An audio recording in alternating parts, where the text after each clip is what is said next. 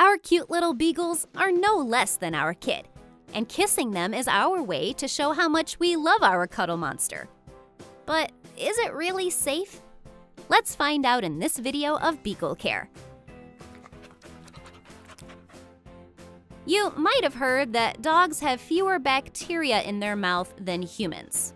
It's not entirely true.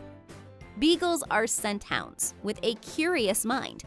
They inspect unknown things by sniffing them and putting them in their mouth. And these things are not always sanitary. Just imagine the times your beagle has grossed you out. They put their mouth in trash cans. They sniff other dogs' butts. Some beagles even eat poop. All these things are full of bacterias, germs, and viruses, which can cause some serious health concerns in humans, like ringworm and MRSA infection.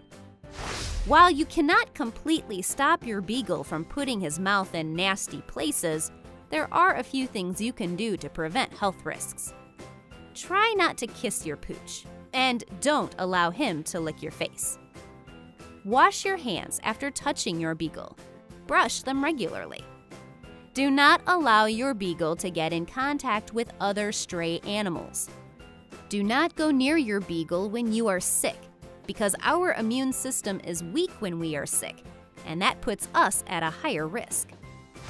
There are many other healthy ways to show your affection towards your beagle, so follow these rules and stay safe. If you like our video, make sure to subscribe to our channel, Beagle Care. Later!